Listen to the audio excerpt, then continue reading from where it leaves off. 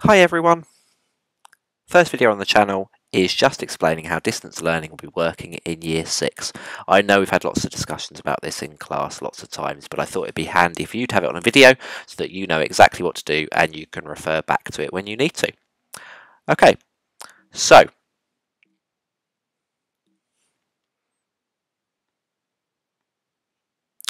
what will it be? We've sent homework packs and project books home.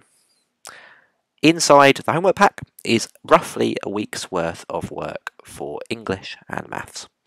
And as we've said in the letter that is also on the pack, we are encouraging you not to complete this all straight away. I mean, it'd be great if you did, but we're encouraging you not to because what we will do is we will use this work and we will set different tasks on different days.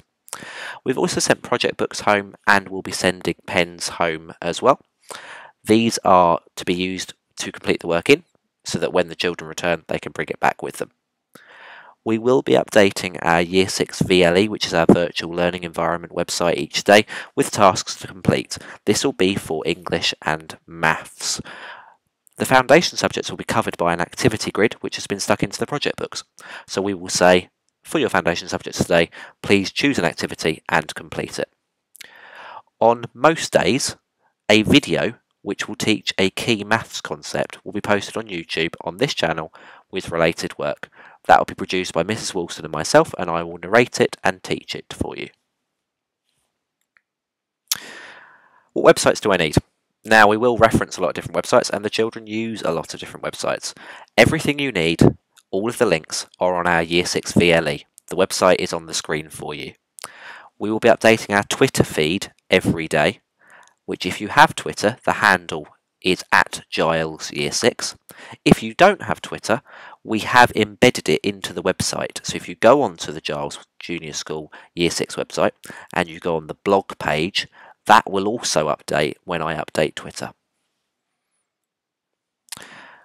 What if you have questions? Of course, during this time there will be lots of questions, potentially about the work, potentially about arrangements. If you have anything that you would like to ask, please feel free to do so we will be working during normal school hours and we will be available to answer as many questions as we possibly can. The best way to do that is via email. We have given all of the children our email addresses. We will reply as soon as possible. If not, you can still contact the school office or go via Twitter or you can directly message us through the website. But as I say, email is the most reliable way of getting hold of us a quick plea. We really do appreciate that times are uncertain at the moment. Believe me, it's uncertain for everyone. Um, and we know that working home can be a challenge. We know how much of a battle homework can be. However, we would really encourage you to encourage your children to carry on working as hard as they can. We want them to be as prepared as possible for their future learning, particularly moving into secondary school.